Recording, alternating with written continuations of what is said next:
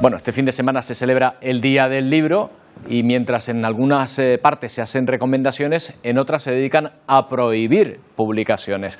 Por ejemplo, en Estados Unidos, en el estado de Texas, una avalancha de iniciativas de políticos republicanos, de padres de alumnos ultraconservadores, intenta retirar miles de libros de las aulas y de las bibliotecas públicas.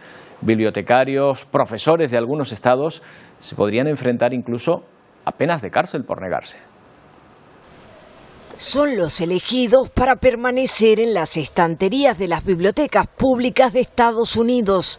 Estos ejemplares han sobrevivido a la censura de los estados de mayoría republicana. Otros no han tenido la misma suerte. Un alto porcentaje están relacionados con el racismo, la sexualidad y la identidad de género. Según la ley de Florida, estos libros son pornográficos y queremos que se eliminen, dice Terry. Estoy de acuerdo con la recomendación de que el libro debe ser retirado, afirma esta otra vecina del condado de Hillsborough.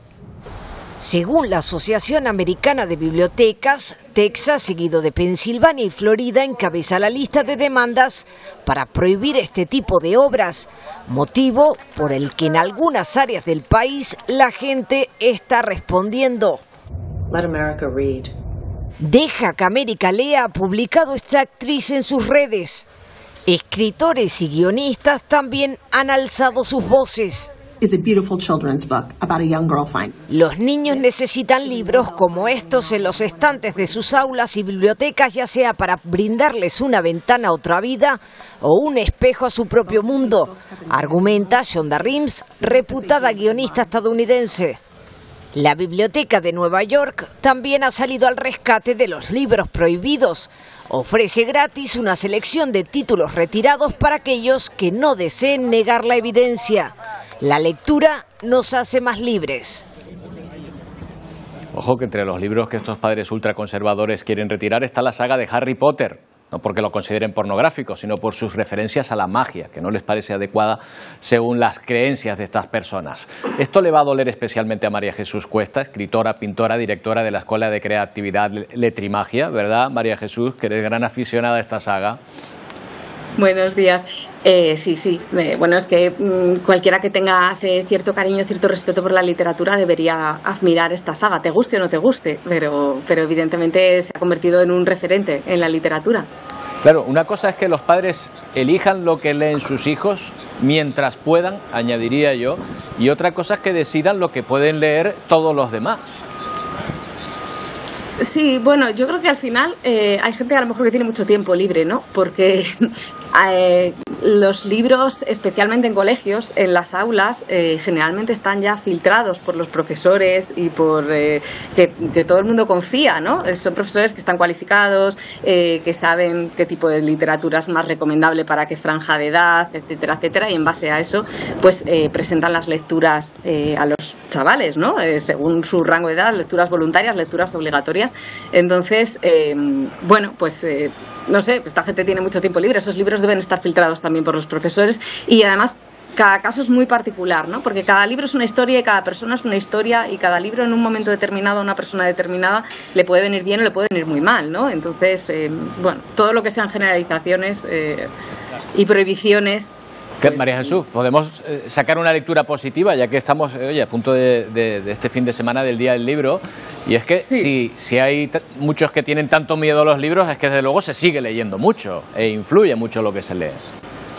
Bueno, la lectura es que es uno de los medios más poderosos. La lectura nos abre la puerta a la cultura, es una puerta muy, muy fácil eh, y evidentemente pues eh, muy poderosa. O sea, mm, no cabe duda, la educación eh, es la base de, del poder de las personas. Entonces, evidentemente. Pero bueno, como decía J.K. Rowling cuando la amenazaban y decían que iban a quemar sus libros y decía, pues quemadlos, que ya están vendidos, ¿no? Así el próximo que quiera comprará otro.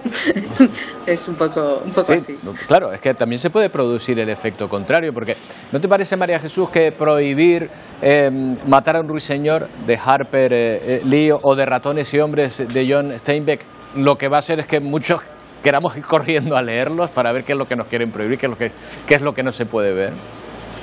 Efectivamente, todo esto tiene siempre un efecto, un efecto llamada, ¿no? Eh, sobre todo, a ver, depende de los rangos de edad. Es verdad que eh, con los niños tenemos que tener mucho cuidado, la infancia hay que protegerla, eso es evidente, pero es verdad que cuando una obra es maestra, incluso se adapta. Hay adaptaciones de las grandes obras. Mm, voy a nuestro Quijote, ¿vale? Y hay adaptaciones hasta para bebés. Hay un Quijote para bebés, eh, porque es una obra que, entendemos que todo el mundo tiene que leer. Entonces, evidentemente, hay obras que no pueden leerlas, o no deberían leerlas, chavales de 7, 8 años que están empezando a leer, pero a lo mejor jóvenes o adolescentes que están en enseñanzas secundarias o bachillerato, pues eh, no tiene mucho sentido. Y a lo mejor otros sí, pero repito, cada libro y cada persona y en cada momento, pues deberían tratarse como casos individuales. Y, nuevamente, en esos centros hay profesionales, que son profesores, que están haciendo un filtrado ya. Entonces, igual es eh, como decir a un farmacéutico que está prohibido recetar un jarabe de adultos a un niño. Pues es evidente, ¿no? Jesús, eh, pero este fin de semana es eh, el día del libro. Yo apelo a tu condición de, de apasionada lectora para pedirte que nos recomiendes alguno, alguno de los que más te haya, te haya gustado últimamente. No sé cuál, cuál, te viene, cuál te viene a la cabeza. No valen de Harry Potter, ¿eh? no, no vale de Harry Potter. Pues em, esto es un aprieto, ¿eh? A ver, eh, voy a ir por rangos de edad, ¿vale? En infantil, juvenil. Por ejemplo, para chiquitines he visto uno nuevo que se llama La Bruja Divertida, para 0 a 3 años, que, me ha parecido muy genial. Eh, siempre temática bruja, como sabes. Eh, a partir de 3 años hay uno nuevo que se llama Un huevo de lobo, que me ha parecido muy, muy tierno, de un lobo que tiene un huevito y, luego le quiere educar. Em, y para jóvenes, puesto que no me dejas decir Harry Potter, pues em, hay un una trilogía que se llama Una herencia en juego, que ya están los tres en castellano traducidos y que es eh, un libro de estos que no se pueden dejar. Así que ahí lo dejo. Bueno, es que hablando contigo, la recomendación de Harry Potter ya viene ya incluida, ¿eh? ya la sabemos, o sea que era por otro lado. María Jesús, feliz día del libro, muchas gracias. Muchísimas gracias, que leáis mucho, felices lecturas, gracias.